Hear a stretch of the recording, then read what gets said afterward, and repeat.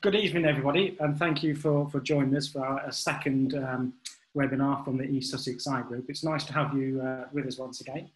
The webinar is being recorded and will be available again to watch later on our YouTube channel, the East Sussex Eye Group. So if you've not looked at it, have a look. The previous webinar is on there to view again. So there is one CET point available for today's lecture, and that is if you're watching it live from the link when you registered. CET point is available for optometrists, contact lens opticians and dispensing opticians. This lecture will run for approximately 45 minutes with about 15 minutes of questions at the end. So if there, there is a Q&A box at the bottom of your screen, so during the webinar, if you have any questions throughout the lecture, then please type them into the box and we will aim to get through as many of the questions as we can at the end of the lecture. So I'd like to welcome today's uh, speaker, Mr. Kashif Qureshi. He's an ophthalmic consultant surgeon at East Sussex Healthcare Trust, specialising in the management of complex medical retina disorders. He performs intravitreal anti-VEGF injections, steroid implants, anterior and posterior segment laser treatments, as well as, as well as high volume cataract surgeries. For the past 10 months, he has been the clinical lead for the East Sussex NHS Trust, and he is also a member of the Professional Standards Committee of the Royal College of Ophthalmologists. So thank you very much indeed, Mr. Qureshi, for, for joining us today, and I'll, I'll hand over to you. Thanks, Ian. So can I, yes, I can share screen. There we go. And right, okay, so I am going to talk about uh, minor eye conditions, and I put minor in inverted commas because they're often not minor. Um, and can be seem to be quite major, in fact. Um, and uh, these are things that um, you guys are now seeing in the community uh, and are managing a lot of. Um, and um, some things are coming to us still, um, but it's definitely an area where it requires um, some some sort of cooperation between our two sort of professions to be able to manage uh, things for the best for the patient so they get the best out of it, the best care and the best access to care uh, they can, particularly now in the in the height of the or the light of the recent pandemic. Um, so this talk really is going has been sort of formulated trying to think about the um, conditions that you generally see um, in MECS and, and was formulated really from a list that uh, optometrists compiled uh, for WOPEC uh, lectures. So I've sort of tried to address all of those all of those areas. And if there are things that I've missed ultimately as a part of the lecture or at the end of the lecture that you you, you don't know about or you would like to know more about, then then let me know. Um, most of these topics, in fact, nearly all of the topics, are anterior segment type problems. Um, because I know my colleague, Mr. Kishani, gave an excellent talk about posterior segment things um, a month and a half or so ago. So I'm not going to sort of go over too much of the same ground. So the first thing, starting from the front, um, corneal problems. Um, so, and as I said, this is, you know, minor eye conditions is a bit of a misnomer because in fact, corneal ulcers is in fact quite a major and sight-threatening eye condition um, that, if not treated uh, or recognised quickly, can result in rapid and permanent, irreversible loss of vision for patients. Um, you guys are all very familiar uh, with with corneal ulcers, in particular in the community, and are very good at referring them in. Um, and as you know, the ulcers can be a variety of different origins, but primarily and most commonly bacterial then viral, fungal, and some inflammatory causes of, of ulcers. And I'll try and talk about most of these things and how to manage them uh, today. So, the biggest risk factor of, of uh, for having a corneal ulcer is contact lens uh, use, particularly soft contact lenses are, um, are the biggest culprits. Um, extended wear overnight lenses are also a particular uh, culprit of getting um, contact lens related infections. But also, there are other factors that make people more likely to have um, corneal ulcers, um, ocular surface disease, uh, eyelid diseases, patients being immunosuppressed, and also patients who are uh, who have um, sort of neglect, so they don't they're not looking after themselves. They sort of accidentally poke themselves in the eye because of maybe mental um, uh, sort of abnormalities or dementia or learning difficulties, and they accidentally poke themselves in the eye and they can get an ulcer. Um, the symptoms are um, extreme pain usually, um, very, very photophobic, a lot of tearing, the eye is very, very red and angry and sore. The um, pictures that I put here, hopefully you can see them quite nicely, are um, show very beautifully uh, what, what you can see with a often a ring-shaped um, ulcerated lesion which stains often with um, fluorescein because the epithelium is broken down and there's uh, purulent material there. There's also a small hypopyon in the lower picture. Um, and these are the sorts of things that need to be seen and referred on the same day, and we need to see them in the hospital on the same day. It's often worth, um, from your perspective, advising the patients when they come to the hospital to bring their contact lens case with them if it, if it is um, the, the, fact that they use a contact lens case because often sending the cases off um, for culturing yields um, a result whereas the corneal scrape sometimes doesn't yield the, anything. Um, but when they come to the hospital, we assess them, we measure the size of the ulcer, both um, with um, a fluorescein dye to see what the area of epithelial defect is. We'll make a note of any hypopyon and we'll often measure that too. Um, and we'll perform a corneal scrape. Uh, corneal scrape is done with uh, topical anesthetic drops and then with the edge of a, of a bent needle to gently um, scrape the base of the ulcer and then to plate the, the what we've scraped onto either agar plates or into some culture media and sent off to microbiology for urgent processing. Um, then what we do is start these patients on some empirical treatment. So this could either be a monotherapy with a quinolone or dual therapy with a quinolone um, and cephalosporin, so quinolones such as ciprofloxacin or, or ofloxacin or levofloxacin, um, and uh, cephalosporin like cefuroxime. And in, in both cases, we would always give cycloplegia for these patients because the pain is really quite intense for these patients, and the cycloplegia can really help reduce the pain um, of a corneal ulcer. So one question that's often uh, asked um, by optometry colleagues is how to tell whether these are sterile ulcers or, or infectious ulcers when you see them in the community, because sometimes you can see little spots on the cornea, but it's not really clear whether they're infective or not. Um, it's always probably the safest thing to do is to assume they are infective unless otherwise proven. However, um, there are ways of telling whether um, an ulcer, ulcer is effectively sterile or, or or infectious. So sterile lesions uh, tend to be um, small, less than a millimeter, they're peripheral, there's often very little or no epithelial damage, um, there's no mucus discharge, there's very little pain or photophobia, little or no anterior chamber activity, and often no lid involvement at all. Uh, whereas infectious ulcers tend to be larger uh, than one millimeter, um, centrally located. Um, there's often a significant epithelial defect. There's um, significant mucopurulent discharge. There's a lot of pain, a lot of photophobia, and quite significant anterior chamber um, reaction. Often the lids are quite puffy and swollen as well. So conditions causing sterile ulcers, well, this picture beautifully shows a marginal keratitis um, and as you can see, it's a peripherally located ulcer that's near the limbus.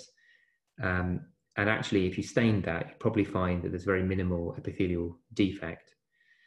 Um, marginal keratitis is often associated with patients who've got a, either a history or signs of blepharoconjunctivitis, and often they've not had any contact lens wear or no history of any contact lens wear. And it happens because the patients have a hypersensitivity reaction to staphylococcus, and the ulcers, when they do form, uh, as they show in that picture, are parallel to the limbus rather than um, in the central area of the cornea. There's often a one or two millimeter gap of clear cornea between the ulcer and the limbus. Another cause uh, of a sterile ulcer is contact lens related peripheral ulcers. And these happen due to staphylococcal colonization of the contact lenses. And they cause very small, discrete ulcers, which are 0.1 to 2 millimeters.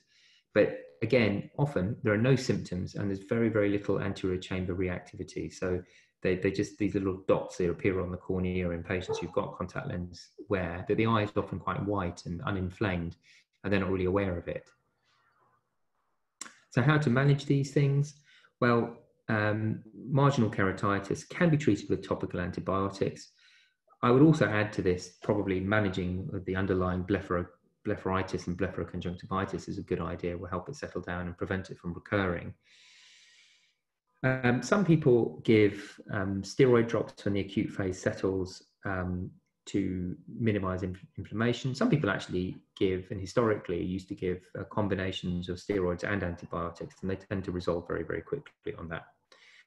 The contact lens related peripheral ulcers, um, really the best treatment is uh, stopping wearing contact lenses um, for at least a period of time to determine um, you know, that the cornea is settling.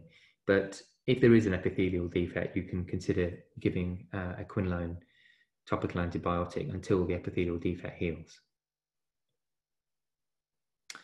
So adenoconjunctivitis, keratoconjunctivitis, it's extremely common and you know topical to talk about viral illnesses at the moment. Um, COVID apparently causes a some sort of conjunctivitis, but it's a very mild conjunctivitis and it's quite rare apparently. I've not seen it, but there are case reports about it. But um, typically, patients present with this sort of pink eye appearance, and if they've got corneal involvement, they get these little um, subepithelial um, infiltrates uh, that can appear, but often usually stay and, uh, and, and, not. There's nothing you can do to get rid of them.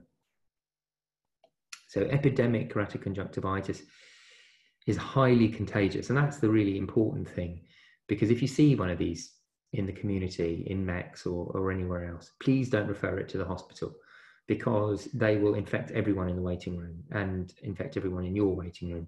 So see it, diagnose it, advise the patient and discharge them. Don't see them again because you're, um, uh, or don't try and arrange a follow up for them because they, they should be, uh, they should be in lockdown um, really and not um, passing on their infection to anyone else. These keratoconjunctivitis can also infect the gastrointestinal tract, can cause upper respiratory tract infections, can cause redness, itching, irritation of the eye, can cause photophobia, epiphora, generally foreign body sensation more than pain. So it's not so much painful, but very, very irritable. The vision can be blurry and the lids can be quite puffy and swollen as well as there being chemosis.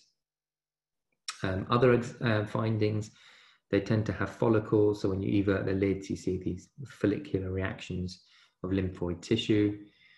Uh, you can often get a clear or yellowish discharge, and they get the keratitis like in the previous photograph, and um, lymphadenopathy. So often they get preauricular lymph nodes. So the areas just in front of the ears, if you palpate along there, you can you can feel the lymph nodes are quite swollen sometimes. Sometimes these patients also have a fever and a headache, and of course that's very topical nowadays with regards to uh, COVID because you probably won't want to be seeing these patients. And I would, I would arguably say, actually, in the light of telemedicine, that this is a condition that you could you could diagnose on the telephone, and you could diagnose with a with a sort of video consultation as well. And but is one of those conditions where I would urge you try to try not to see the patient if you can, because you're really risking yourself uh, getting infected with a quite a nasty condition if you do. Um, very commonly, patients will have the fellow eye affected I mean, in the past, um, pre-COVID, and many years ago when I was a registrar at Moorfields and in Manchester, they had a special room for um, adenoviral conjunctivitis patients where you'd take a patient who was suspected of having it, see them in there in a sort of hazmat type setup, and then you'd sort of you know, chemically nuke the room when you when you left it. It's kind of what we do now. Um, but um, that's um, what what these patients need because they're very, very, very contagious. And, and they don't really need any treatment in terms of drops or anything like that. They just need advice to not uh, go out, not try try and stay away from other members of their household. No sharing towels or pillows or anything like that. Not handling any food that anyone else is going to eat.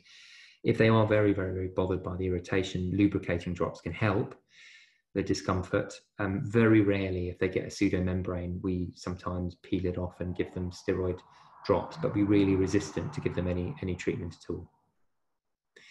So corneal foreign bodies um, and foreign body removals. This is a, a topic that some optometrists have wanted to ask about. So when not to do it, well, I think don't do it if you've got a patient who's got a hyphema, so they've probably had some quite significant trauma if that's happened. If there's some sort of diffuse corneal opacity, so the question of it being an infection, definitely if there's a laceration of the cornea or sclera, you must not. So, um, you know, if there's any if you do Seidel sign and it's positive, it's a good idea. Really avoid doing uh, trying to remove a foreign body that's sent to us to to repair surgically. If there's a dilated or an abnormally shaped pupil, be again be very careful because that's quite significant trauma will have caused that. Or if they've caused if there's a shallow anterior chamber, particularly compared to the other side, because a shallow anterior chamber means there's likely to have been a, a rupture somewhere. How do we do it? Um, it's very straightforward, really, um, and something that I think is well within your skill set uh, as um, as colleagues that I've worked with optometrists who are highly skilled.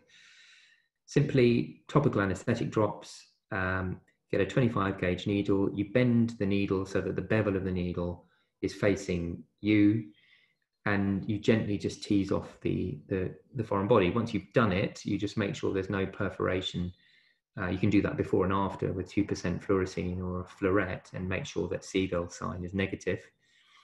And you just gently dig uh, underneath with the edge of the needle um, and then flick off the, the foreign body. And there's this, um, there is this YouTube video that I will try and put on. I'll just make sure that it's sharing.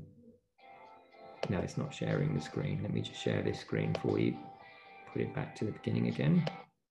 There we go. I'm sorry for the cheesy music. I'm not responsible for it. So you can see he's got the bevel facing you with the edge of the needle. He just sort of gently sort of digs at it a little bit. Dig, dig, dig. And then it sort of loosens and there you go, it's off. And that's it really. That's taking a foreign body out. So hopefully that was um, that was useful. I'll go back to the condition, the um, presentation. Oops. Zoom slideshow. There we are. Okay. So that's that's how you take off a foreign body. Um, and in the good old days, um, casualty doctors would do it. Nowadays, they're too chicken. They don't do it anymore. They worry, I think, about perforating cornea. It's incredibly difficult to do that until we, unless you poke it directly with the with the tip of the needle. But if you go, if you do this a slit lamp with the bevel of the needle and sort of dig at the side of it, it's very, very difficult actually to cause any any um, significant um, damage. Someone's asked about rust rings. Um, yes, if, if, you can dig dig away until the rust um, actually uh, all the rust ring as much as you can is, is gone. Um, but you know there'll be a there'll be a certain amount that you won't be able to get rid of and, and i wouldn't worry about it. As the cornea epithelializes it just it just gets rid of and it's not really um, anything to worry about. Um, some people do use a, uh, an Alger brush to get rid of foreign bodies or get rid of rust rings. I, I, don't i don't really like them. I think there's a bit of an infection control risk with Alger brushes. Uh, it's a bit bit of overkill but but you know if you use them and you're used to using them by all means there's nothing wrong with it uh, why is this not advancing to the next slide? So chalazions, uh, next topic. Um, so what are they? And, and chalazions are particularly badly diagnosed by everyone, including ophthalmologists. They sort of seem to, particularly juniors, seem to fail to understand what they are. And what they are is a, a lipogranuloma of the, of the meibomian gland. So it's an obstruction of the meibomian gland that gets a bit inflamed and it can happen because of, of retained secretions of the meibomian glands. Um, often, if you use regular massage and hot compresses, um, it will help to drain the meibomian secretions. But if you do get a patient who got who has frequent recurrent chalazions in the same location, and the, particularly if the lid margin looks a bit slightly ruffled and it's very unilateral, you should consider um, other diagnoses like sebaceous cell carcinoma, which is a very nasty condition. How to manage chalazions, I'm sure in the community you're all used to this, but if they're small and asymptomatic, um, they don't really need any active treatment. Hot compresses um, and a massage of the, over the lump can help to, to, to clear it. The hot compress, you can buy things like the eye bag now, which retains the heat much better, and you put it over the eye for about five minutes.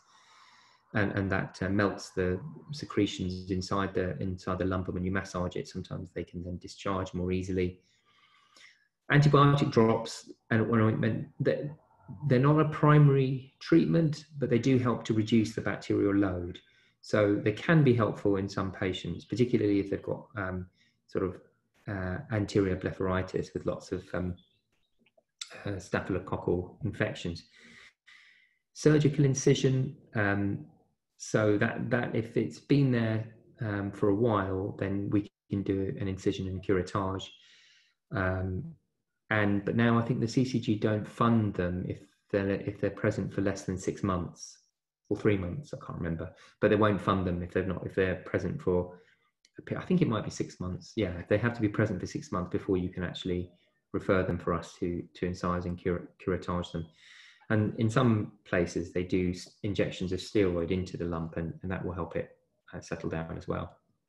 So there's a chalazion for you a hordeolum, which people often confuse. Um, an internal hordeolum is meibomian gland inflammation, so like a chalazion, and you get purulent material released from the inner conjunctival surface of the eyelid, and it happens um, due to staph overgrowth. So often they get a little bit infected as well. And an external hordeolum is a, a gland of um, one of Zeis or Moll, which becomes um, a bit inflamed, and you get purulent material released from the, the outer lash line. And, and so that's a nice example of a external hordeolum. Blepharitis, um, incredibly common inflammatory condition affecting the eyelids, causing discomfort, irritation.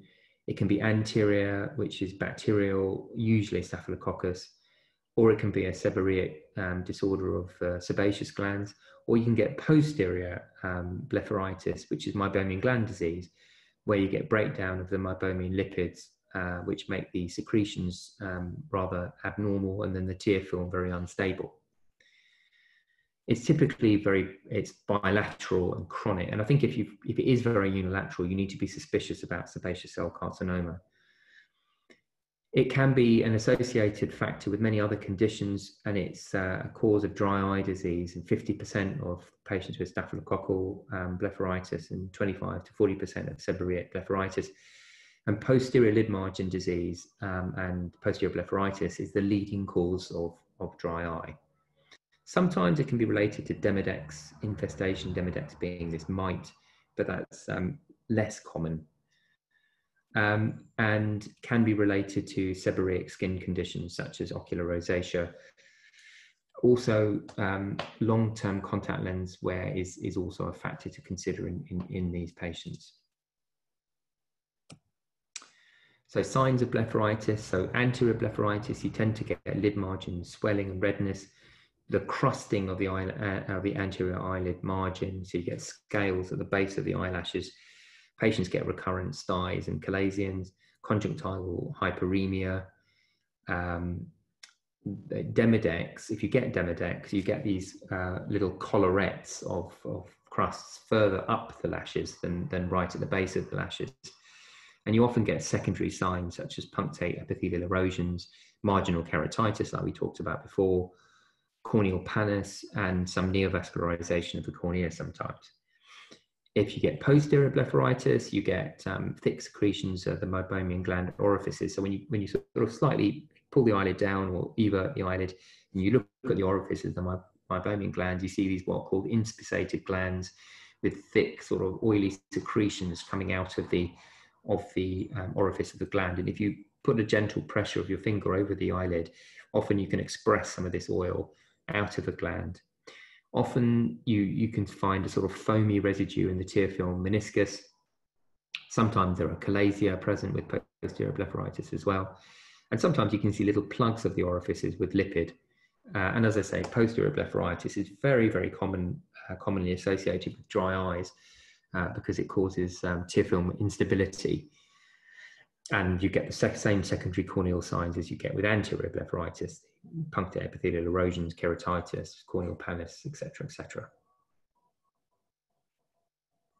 Management, as we sort of talked about before, lid hygiene is, is uh, very, very important. So you can wipe the bacteria and the deposits using uh, warm, warm, wet compresses to loosen the collarettes and crusts in anterior blepharitis, and dry, warm um, compresses which melt the meibomian secretions in posterior blepharitis. And they recommend about 40 degrees for more than five minutes, but you can achieve that, as I said, with an eye bag, which is something you can buy over the counter now from the pharmacy or from Amazon. Pharmacological treatments, so staphylococcal and seborrheic may benefit from topical antibiotics, as I've said, to reduce the bacterial load. And posterior blepharitis, you can consider giving systemic antibiotics, which are usually doxycycline or tetracycline for about a 12 week course. Um, these also have a modulating effect on the anterior, the ocular surface. So sometimes the the effect they have on the matrix metalloproteinases reduces the inflammation on the ocular surface, and that also helps. Herpes keratitis. Um, so this is uh, the next topic that was uh, commonly asked about.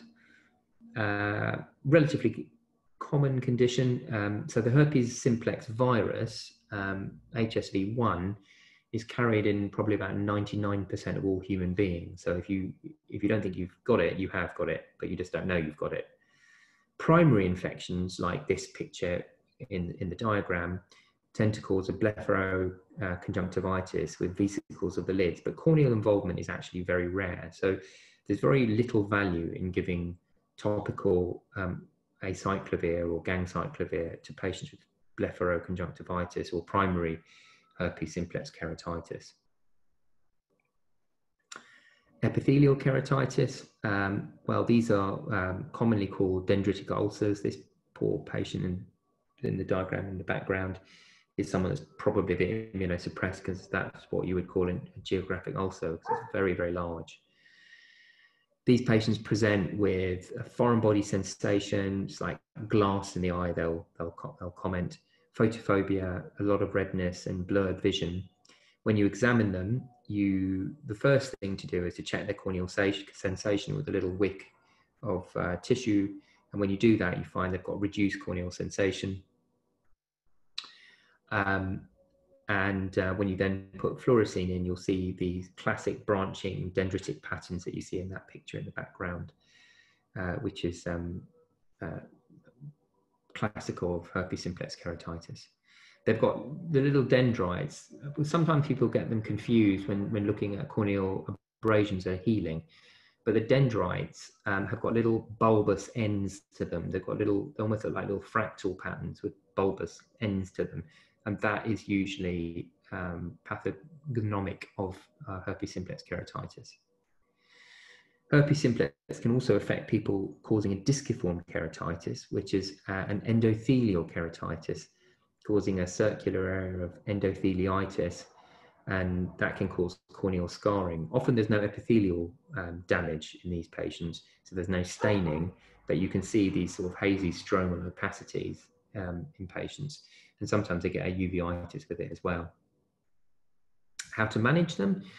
Well, epithelial keratitis uh, needs to have topical antivirals for about 10 to 14 days. Controversially, some people say oral uh, antivirals are as effective um, as the topical antivirals, but without the corneal toxicity. Uh, and acyclovir and ganciclovir are equally effective. I mean, personally, I tend to use um, Zovirax or ganciclovir uh, for about two weeks. And after about 10 days, usually they get much, much better. And then you can stop the antiviral. If a patient has a disciform keratitis, that needs to be treated with a combination of steroids and um, uh, an antiviral. So, starting off with sort of two hourly steroid drops with either topical or and or oral um, antivirals, and then the steroid drops are tapered rapidly. Oral, oral acyclovir may be, in this case, more beneficial as a topical uh, acyclovir um, and ganciclovir doesn't tend to penetrate the cornea as well when the cornea is intact. If the uh, corneal epithelium is broken down, then these topical antivirals tend to penetrate the cornea a bit better. So um, uh, the oral, in this case, is often slightly better. And actually, there's very good evidence to show that if you give patients uh, a, fairly lowish dose, so 400 milligrams twice a day for once a year, reduces the recurrence of uh, disciform keratitis by about 50%. Episcleritis. Um, so this is a very, very common and often self-limiting condition. Um, generally, you can get either a nodular type or a simple type. The nodular type's got a little elevated, elevated bump to it, whereas the simple type is just the vascular congestion of the episcleral plexus. Mostly they're idiopathic, um, but about less than around 35% can be associated with a systemic vascular disease or systemic inflammatory conditions like rheumatoid Crohn's, ulcerative colitis, SLE, psoriatic arthritis. Generally, the patients tend to have a diagnosis of those conditions and then present with an episcleritis and the other way around. Um, so it's worth asking them in, in your sort of medical history about um, presence of those particular conditions if they've had them in the past. And it, it is just vascular congestion of the episcleral plexus and the episclera and the Tenon's layer that get infiltrated with inflammatory cells, but the sclera is, is spared generally. And classically, you get this area of sectoral redness, sometimes with a nodule, sometimes without. Um, but what you don't get is a sort of violet color of the sclera that the, that the scleritis causes. So this is a beautiful photograph of uh, episcleritis. It's probably a nodular one with a slight elevation to it. But in a scleritis, you get this very violet-like, sort of hazy, um, purpley appearance to the sclera. Um, so how to diagnose it? Well, you can instill 2.5% phenylephrine, which will blanch the conjunctiva and episcleral vessels, but doesn't affect the sclera. So that would sort of differentiate it between a scleritis and an episcleritis. If you give 10%, uh, it will blanch the episcleral vessels, but not the scleral vessels. Generally, if you leave these things alone, they will just get better on their own without any treatment. Sometimes oral nonsteroidal anti-inflammatories can be useful and can help. And in fact, there's no evidence that topical nonsteroidal anti-inflammatories can help. So ketorolac or Acular, etc. There's there's no benefit in those. Topical steroids can help sometimes, but just be careful with those if you are giving them because apart from the obvious um, issues with regard to steroids, you can get sort of rebound inflammation uh, with uh, topical steroids. So I, I would um, be very, very careful about using that, those. And generally, these patients don't need to be followed up. So I wouldn't bother um, arranging a follow up appointment. Just tell them it will get better. And if it doesn't, then they can come back acute angle closure. Uh, so this is the, the, the real big emergency, along with corneal ulcers, I suppose.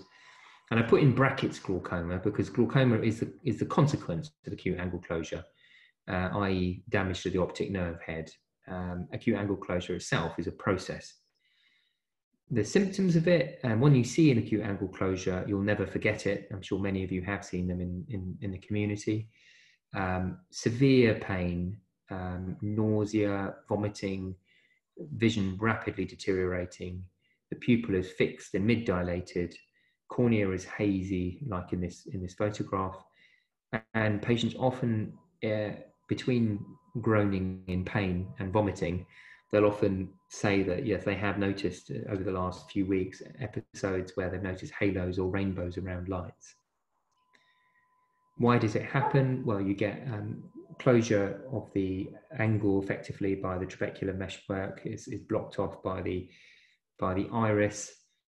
Um, it's um, particularly prevalent in people who are hypermetropic, they're not always, um, and people who are older with a, a, large chunky lens, women more than men, and some heredity, it makes it more likely to happen. So um, Asian races, so Eskimos, Southeast Asians, Chinese races, um, tend to be more prone to getting acute angle closure. In fact, of the glaucomas that they get in places like Singapore, 95% of them are angle closure uh, compared to 5% in the UK, uh, where 95% in the UK are primary open angle closure. How do we manage it? Well, um, in the short term, we can do an iridotomy, uh, creating a little hole between the um, iris and the anterior chamber, and that provides a sort of escape route effectively so that there's no pupil block and the aqueous has got somewhere to go.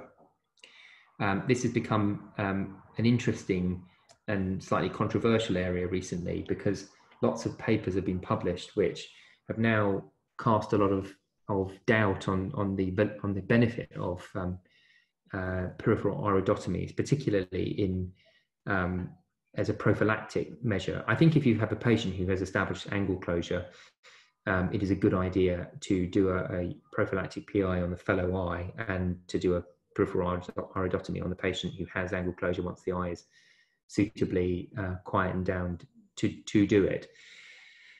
But an, and another trial called the Eagle study recently showed that actually taking the lens out in these patients um, is far is more effective than doing a prophylactic YAG iridotomy laser treatment. So more and more of these patients, if they got cataracts or particularly visually significant cataracts, we would urge them to have their cataract taken out rather than having a, a peripheral iridotomy anymore. And in fact, um, so these photographs at the bottom uh, show you the, the, sort of consequences of angle closure with the far left photograph having lots of iris stroma, a very distorted pupil because there's probably been ciliary muscle damage due to the ischemia. And there's a nice, um, if slightly large, iridotomy um, in the top left-hand corner. The middle picture with the little flecks, that's what's, what glaucoma flecken looks like. So when a patient's had angle closure, they get ischemic damage to the lens capsule and those little glaucoma flecken appear. And then the last uh, image on the right is um, a really horrible YAG iridotomy that's enormous that someone's made in this poor patient's eye. Uh, I'm not quite sure why they made it so large. Um, anterior uveitis, uh, a quite common uh, condition that uh, presents um, to you in the community. Um, it can be um, part of many different disease processes, actually, and it can be acute and it can be chronic. Um, and it refers to inflammation of the anterior uvea, i.e., the iris and the ciliary body. It can be associated um, with other systemic diseases um, like uh, Crohn's, rheumatoid arthritis, ulcerative colitis, psoriasis, etc. But also it can be uh, it can be isolated patients who, who have HLS, HLA-B27, uh, um, they, they are more likely to get it and a risk factor. And there's a question, which is, would you always break a synechia? Well, you can try. Um, so if you, when you manage these patients, you want to give them um, uh, cycloplegics like um, or atropine, uh, and that will attempt to break the synechia. It doesn't always work though, um, but um, trying to cycloplegia will help. Um, and of course, if you do cycloplegia early, then the pupil is out of the way, um, the iris is out of the way of the lens behind it, and it's much less likely to get stuck down. Um, but quite often, and like in the photograph, the top photograph, you we find these patients in when we come to do their cataract operation, they're stuck down like that, and there's nothing going to get rid of that other than mechanically breaking the synechia uh, when we when we do cataract surgery. Um, the bottom photograph shows um, mutton fat precipitates. Uh, and when you've got that sign there, mutton fat precipitates, that's a very strong indicator that there's granulomatous disease. Um, so TB, sarcoid, those sorts of things. Hello, why is my slide not advancing? Ah, there we go. Examination. So patients will present with pain, photophobia, redness, um, often they have a very intense ciliary flush. So this is this uh, sort of very red area by the limbus. Um, what you want to do when you're examining these patients is to check the visual acuity and examine the anterior chamber very carefully for cells and how many cells you can see in a millimeter. Um, precipitates, um, flare, so sort of proteinaceous flare floating around, hypopyon sometimes it's very severe. We might also want to look and see if there are iris nodules and synechia, has been mentioned already, and, and fibrin. uh, which is a, a, sort of quite serious sign of inflammation. It's very important to check the pressure in these patients because they can get secondary glaucoma or, or secondary, secondarily elevated intraocular pressures. It's also need uh, managing uh, alongside the inflammation. Uh, you also want to do a dilated examination in these patients in all cases because what you want to make sure of is um, that uh, there is um, no intermediate uveitis or posterior uveitis because that can be caused by a whole load of other uh, type of issues which might need more systemic investigation. Um, ensure no posterior segment involvement. That's what I was getting at, really. Um, I'll go. I'll, I'll, answer Mo's question um, in the question and answers bit about the YAG PIs. Don't forget to remind me, um, Ian and Mo. How to treat it? Well, topical steroids very, very frequently to start off with. So Pred Forte, so 1% prednisolone drops, maybe hourly uh, for a couple of days, and then reducing it gradually over a six week period of time when it tends to burn out. A topical cycloplegic is, is very uh, useful as well to help reduce the chance of synechiae if they haven't already developed and also reduces the pain more importantly for the patient. It really really um, settles the pain down. And the pain patients tend to report almost always they, they report this as, as if they've been punched in the eye. It's very very sore uh, very very uncomfortable. Probably um, these are to be referred to us so that we can prescribe these um, steroid medications in particular. So the last topic I wanted to talk about. I hope I'm all right for time. I think I just about am all right for time. Uh, which is a posterior segment one I thought I'd chuck in um, is flashes and floaters because this is still a very common uh, source of referral from MECs. Um, and I thought I'd sort of try and clarify some of the things about it because it is a bit of a still a, a worrying condition for a lot of um, optometrists in the community. So posterior vitreous detachment is a separation of the posterior vitreous cortex and, and the retina. And as you probably know, the vitreous base are, is a very strong attachment, and that's around the ora serrata towards the front part of the eye. But there are also quite firm attachments around the optic disc margin and around the macula and around retinal vessels and some areas in, in the peripheral retina like in that cause lattice degeneration. And what happens in a posterior vitreous detachment? Why does it happen? Well, in adults, as we all know, the vitreous becomes more liquefied. And so, from being a solid lump of jelly for babies, it becomes a sort of bag of liquid. And then, um, due to ongoing degeneration, the posterior hyaloid face tends to rupture, and this liquefied vitreous then pours into the space between the posterior hyaloid face and the retina, so the retrovitreous space, and it separates the vitreous from the retina, sort of peeling it off.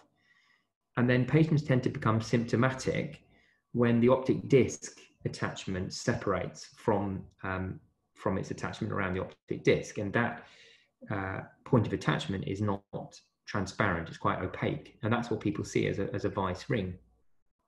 So this is a beautiful OCT image uh, taken from a spectralis um, no shares in spectralis that I have, showing the posterior hyaloid face as the faint line uh, above the above the retina there.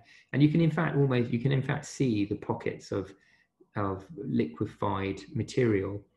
Now this hasn't been a total posterior vitreous attachment because it, there's still some attachment um, to the optic nerve head, but the but the macula has peeled off, so it's probably a vitreous um, separation in progress. Why do we worry about these? Well, um, and why do we worry about new floaters? The reason is because traction can occur at sites of the firm adhesion of the vitreous to the retina. So the vitreous base, uh, you know, adjacent to the ora serrata, and these may result in a retinal tear, and sometimes can that can result in a rhegmatogenous retinal detachment if it's not picked up. The posterior vitreous detachment and, and vitreous degeneration is a common event. It's, it's very important to emphasize this. If you look at all people over the age of 60, more than 50% of them have had a PVD. whether they know they have or they haven't. Um, and these tend to manifest with, as you know, um, new onsets of floating objects and lots of flashes of, uh, of light, uh, which often happen because of little points of traction of the vitreous against the retina. Usually they settle down very, very quickly. And if you examine the patient and you, you do a good peripheral examination um, and don't find a tear, they're very unlikely to, to have a tear. So um, I think, I think statistically, I think you've had a posterior vitreous detachment, only about 10 to 15% of patients develop a retinal tear. So best way to, to exclude a retinal tear is to examine with an indirect ophthalmoscope and indent. But realistically, um, very few people do that apart from the vitreoretinal surgeons. Even in the hospital, we don't do that as a matter of course. I will do it if a patient, if I've got suspicion about uh, there being a retinal tear and I can't see it, when I've examined them through other ways. So using a slit lamp and using a three mirror lens is probably a, very good way of, of examining the patient and you will very likely to pick up a retinal tear using that method. But even if you examine a patient who is fully dilated with a 90 field lens or a, uh, sorry, 90D lens or a superfield lens, you're very likely to pick up probably about 90% of retinal tears. If a patient though has got a vitreous hemorrhage, then you're very likely to have a tear, whether you can see it or not. And those are the patients. So if you see patients with new floaters and a vitreous hemorrhage, um, but you can't see a tear, those patients do need to be referred because they're the ones who are likely to have a tear, uh, which is, go, can go on to a detachment. So these two pictures, I put them up because it also shows you what can different pathologies that can cause people to worry. So the picture on the right is a retinal tear, and you can actually see retinal elevation there because that sort of pale area of retina that's lifted up. And that needs retinopexy, although actually that looks quite like a, quite a large area of retinal elevation. So that might either need cryotherapy or a VR surgeon to, to manage that as an early detachment. But the image on the left, that's actually a round retinal hole with an operculum. Now, why I've shown you that is because it illustrates the point. if you operculum has separated from the retina, so there's no traction on the retina, that's very unlikely, in fact, almost impossible to become a detachment. So I wouldn't laser that or I wouldn't treat that. I would reassure the patient and say, don't worry about it. It will, you know, it won't, um, it won't progress because there's no actual direct traction on the retina now from anything. That flap has fully come off the retina and um, therefore they're very unlikely to to develop a detachment. And I think that's all I had to, to say. So where are we with time? So we're doing okay with time. And I think there are some questions in the Q&A. I don't know if, if Ian wants to come back in at this point, he's welcome to. Can you hear me, Cash? Yeah, I can hear you, yeah. I'm just trying to get the screens back on. Uh, I'll let my computer out. Yeah, we have got a few questions. And um, so if you're happy for me to answer, can you stop sharing your screen for me? Yeah, yeah, I'll do that. No one wants to see my screen anymore. Yeah. Yeah, I'll just get us. So, so yeah, so we've uh, had quite a few questions. Um, so um, rust rings, going back to the rust rings, yeah. I would like to see them all removed when they do the, the treatment for the rust rings as much as you can, um, I think would be uh, would be good. Sometimes, you know, once you get the big chunk of foreign body out of the way, um, you um, you're left with a little bit of a, a, rust ring around there. And sometimes, if you sort of tease away gently at it, a, a, bit of it comes off, comes off, comes off. And sometimes there's there's a little bit left over that you just can't get rid of. And if if nothing more is coming off, just leave it alone. Um, you know, give the patient topical antibiotics um, afterwards and probably cycloplegia because it will be quite painful afterwards for a few days. Um, and as it epithelializes, it will tend to heal over and, um, and that rust ring won't tend to generally cause them any problems. Thank you for that. Um, so with the anterior uveitis, would you always break the synechia? Um, so you, as I said, you try and attempt to do that by um, giving cycloplegia with um, atropine or, or, or Mydrilate, which is cyclopentolate 1%. Um, but, um, you know, if that doesn't work, it doesn't work. Uh, and there's not, there's not a lot you can do about it. I mean, some people, you know, inject Mydricaine um, and, and that can sometimes help break, which is like much more potent cycloplegic but I think unless it's very, very severe or, you know, there's a concern about there being um, iris bombé, I probably wouldn't do it. It's, it's not it's not the very common presenting sign of, of uveitis, um, synechia, um, but they do happen. Um, and often if you cycloplegia them, they, they, the synechia break, but sometimes they don't.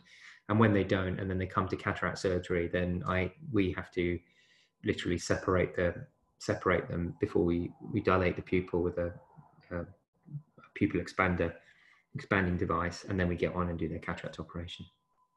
Thank you very much, Cash. Uh, the next question is not my question, but I agree with this one.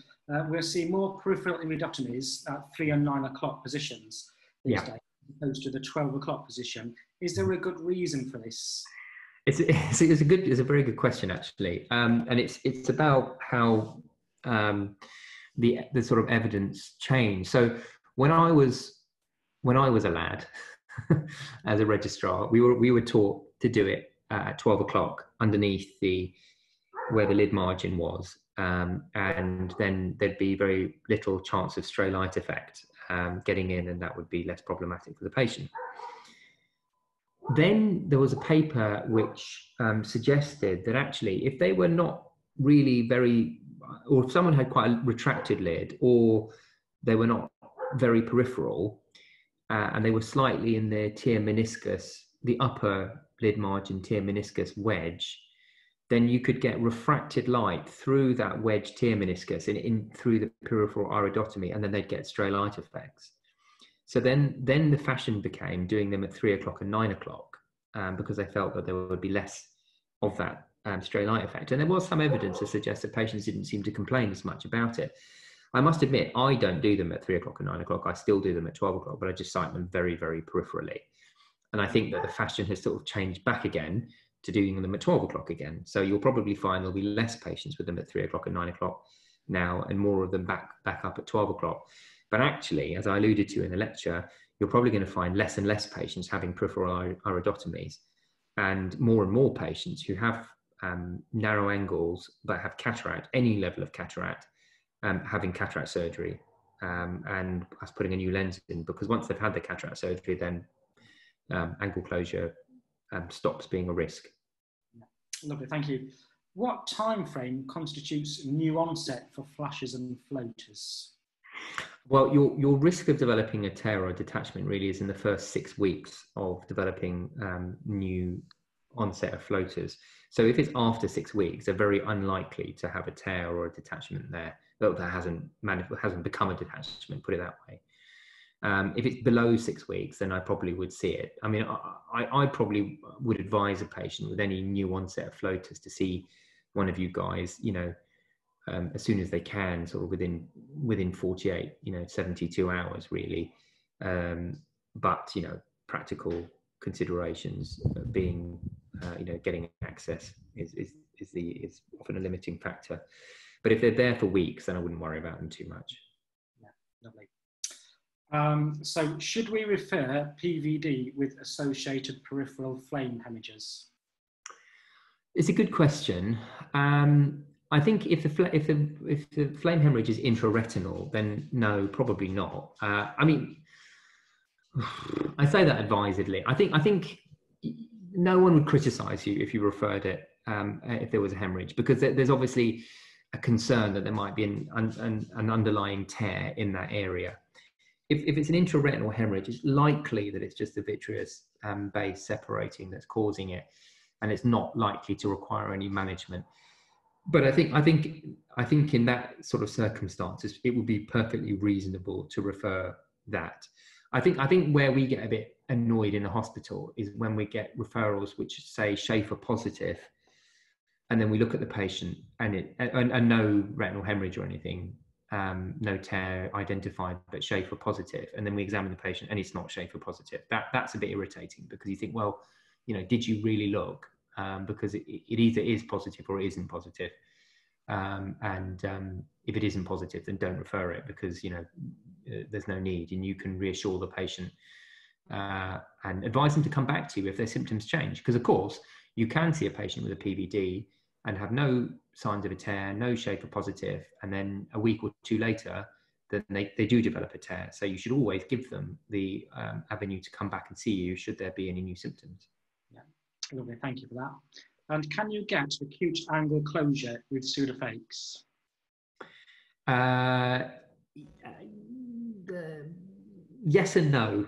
Um, you, it's practically impossible. But if you've got a, lot of existing um, uh, peripheral anterior synechia from other problems, um, like someone who's had primary angle closure before or some other inflammatory condition, yes, you can get, um, you, you, in theory, you can get angle closure, but it's incredibly unlikely, actually. They really have to have a lot of PAS to then get angle closure once they're pseudophakic.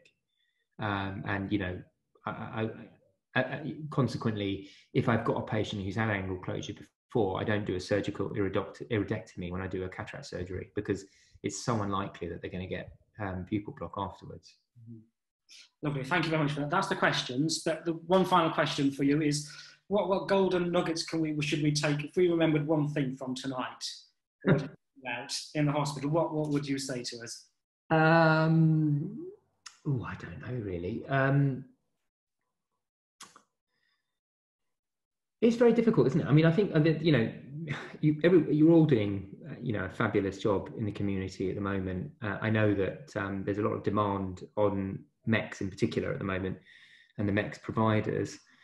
Um, and I think it's got a lot worse actually recently. And I, I, my theory for that is that um, I think the GPs who are not seeing patients face to face now are now not managing anything or not even attempting to manage anything in in in their practices, and they're just sending everyone to MECs, which is good, I suppose, in a way, because it means they're finally using it.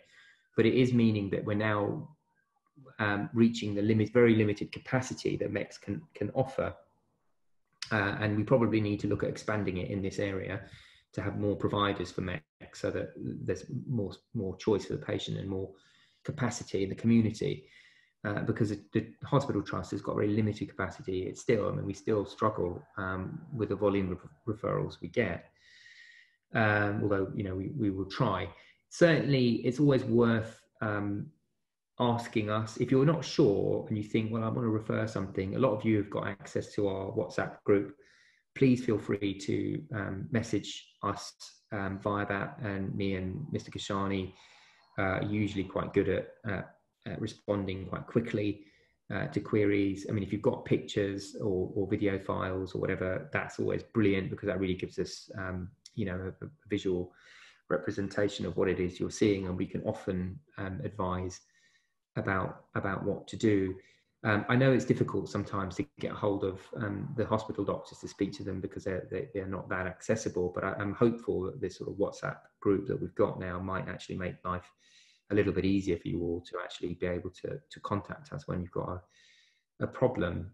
Um, I mean, in terms of any specific um, management things. I think I would encourage you guys to, to, to try as best you can to manage as many of the things as you can in the community and feel confident about it because you are very good. And I think generally speaking, the quality of referrals has got a lot better um, uh, recently. And um, you are very capable of managing these things um, in the community just as well as we are in the hospital. And it's often a, a lot more convenient for the patient um, to see you guys than it is to come and see us and spend ages waiting in a hospital. And of course, nowadays with the with the pandemic, we just don't really want people congregating in one place for for a long time. So it's it's, it's all the more important to have access to to you chaps um, in the community. And, and I I am rather sceptical about the sort of telemedicine um, things that uh, Moorfields are very you know keen to trumpet. I, I, I don't I I think there's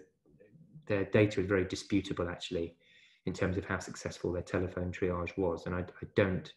I'm not an advocate of it. I'd far rather the patients see yourselves in the community and get properly examined than someone talks to them down the telephone. It's not really for ophthalmology. It's just not really a appropriate way of examining a patient, in my view. Well, thank you very much, uh, Mr. Qureshi, for that excellent talk. I know I've picked up quite a few little useful bits of information that I'll be using when I see these patients. So I'll aim to get the CET uh, uploaded onto my CET this weekend. and I will try to get the webinar edited so you can view it again on YouTube this weekend. I know a couple of people have had problems logging on. Uh, yeah, I do apologise for people who couldn't log in. These this new, um, angle technology that we've got. Uh, so if you do have any thoughts or sort of feedback for us for tonight's webinar, or any topics you may like to see, then please feel free to let us know on WhatsApp group, and we'll, we'll see what we can do. The next webinar is uh, in the process of having CET applied for, and we're hoping to announce a date soon for hopefully mid-September, where hopefully it will be a lot cooler than it is at the moment. But keep looking at WhatsApp group. I might be a bit smarter then. I won't be in my my slovenly my slovenly t-shirt and shorts. I'm going to go around soaked. Uh, thank you. All. Just be cool. That's all. thank you all very much for watching tonight, and uh, hope you've had a good evening. Please stay safe, and uh, we hope to see you again uh, very soon. Take care. Bye. Bye. Thanks, Ian.